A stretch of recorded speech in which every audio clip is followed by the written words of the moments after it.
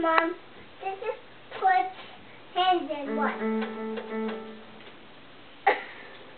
what, Mom?